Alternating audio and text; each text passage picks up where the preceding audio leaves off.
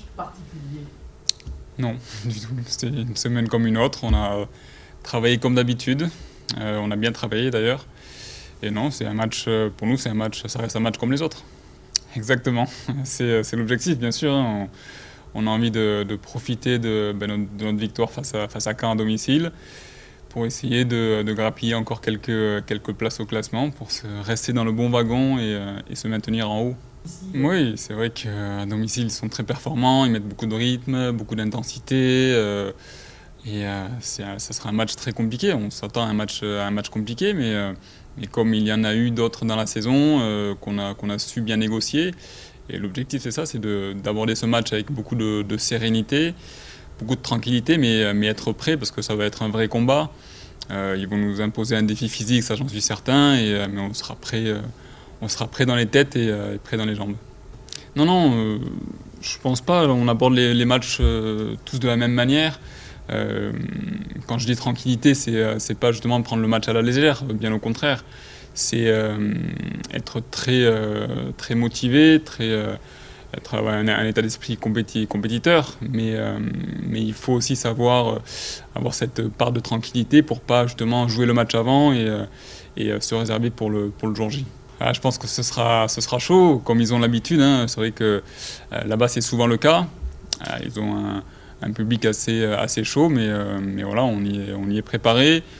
on a déjà joué dans des atmosphères un peu, pas similaires, mais, mais, un peu chaudes également. Donc voilà, il faut vraiment se préparer à ça et, aborder le match avec de la tranquillité, mais, mais être prêt à répondre présent sur le terrain. Oui, c'est ça, on est des, euh, on est des footballeurs de, euh, de, haut niveau, donc forcément on a, on a l'habitude d'avoir des, euh, des, détracteurs dans les, dans les tribunes. Voilà, il faut vraiment faire abstraction de, tout ça. ça va, je suis sûr, booster les, joueurs nîmois, mais nous, il ne faut pas que ça nous tétanise. Bien au contraire, il faut se servir de ça pour, voilà, pour la transformer en énergie positive et, et puis tout donner sur le terrain. C'est très dommageable que, que, Ruben ne soit pas là, mais, mais voilà, hein, il va être il va être euh, comment dire, suppléé par, euh, par Mathias, qui fait une très bonne impression depuis qu'il est arrivé. Donc euh, moi je suis sûr qu'il va très bien s'en tirer. Et c'est pas l'absence d'un joueur qui va changer la, physionomie du match. Non, on va bien le remplacer et puis tout faire pour que cette absence ne se remarque pas. Oui, voilà, on l'a travaillé hein, normalement. que ce soit lui ou, ou Mihailo hein, s'intègre très bien dans, le groupe, donc c'est une très bonne chose. Ce sont des garçons qui ont le même état d'esprit que la plupart des, joueurs, donc ça euh, c'est très intéressant. Et puis Mathias qui va faire son baptême avec nous, on va tout faire pour le mettre dans les, bonnes conditions, mais il s'adapte vraiment très bien pour le moment. Je sais pas, je sais pas, euh, mais voilà, c'est vrai que c'est un joueur uruguayen qui, euh, qui, a une réputation, football qui a la réputation d'être d'être très dur, donc je suis sûr qu'il va nous apporter dans ce genre de match, c'est sûr. Ouais, après, je pense qu'il euh, se transcende en match. Ce genre de joueur se transcende en match. Euh, et euh, je suis sûr que ça va être le cas. À l'entraînement, on, a on a eu quelques aperçus. Mais, mais je pense qu'en match, ça va être différent. Ouais, mais ça fait partie des matchs importants. Ouais, forcément, parce que le, le mois de janvier a été, a été un petit peu moyen, j'ai envie de dire, avec cette première défaite face à Nantes. On a réussi deux, matchs nuls de suite à l'extérieur, mais, euh, mais là, il, faut, euh, il faudrait essayer de renouer avec la victoire pour préparer justement cet enchaînement de matchs avec euh, des équipes dites supérieures, mais à qui on a posé des problèmes en match aller. Donc, donc voilà, ce sont des matchs très intéressants, mais on aura le temps d'aborder ce sujet plus tard. Ce qui nous importe, c'est le match de Nîmes avant tout.